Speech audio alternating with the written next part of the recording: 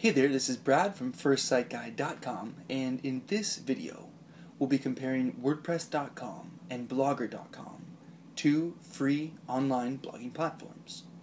I'll go through some of the reasons to use them, as well as the potential downsides. Let's get started. Okay, so like I mentioned in the intro, both WordPress.com and Blogger.com are free online blogging platforms that allow you to publish your own posts and pages. I'll go ahead and show you examples of both, and then we'll go through a couple of pros and cons. I'll also give you our overall recommendation. When using WordPress.com, you'll be shown this page where you'll click to create your website and then walk through setting up your account.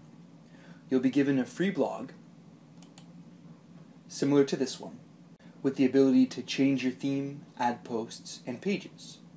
Your URL will be a subdomain on the WordPress.com domain, so to be yourblogsname.wordpress.com.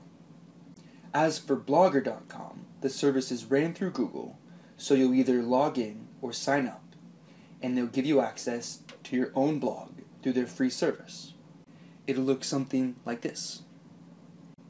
Now, as far as Blogger goes, when it comes to ownership, one of the major downsides is that you're not in control of your data, and the service could essentially disappear at any time. Is that likely to happen? No, probably not. But it's a bad idea not to have full control of your blog. You're a little better off on WordPress.com as you can export your blog data easier, but you're pretty much in the same boat since you're hosted on a free service that you're not controlling.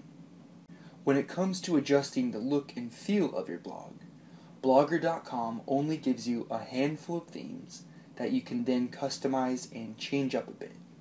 Again, you're limited on what you're able to change and adjust due to being on their free platform. With WordPress.com, you have more options and themes to choose from within the themes section. However, since you're not self hosting your blog, you are limited to what WordPress chooses to support, and you're unable to make manual changes to your chosen theme. While you can move your blog later, Blogger.com is harder to export your data from when compared to WordPress.com, although both aren't the best foundation for your new blog since they both use subdomains and not your own domain. Once you publish your blog posts, gain some followers and search engine rankings, all of this can be negatively affected down the road when you're switching services and changing domains. Now, in the end, this is why we recommend self hosting your own WordPress installation through a web hosting account that you control. If you're casually blogging, it's okay to use blogger.com or wordpress.com.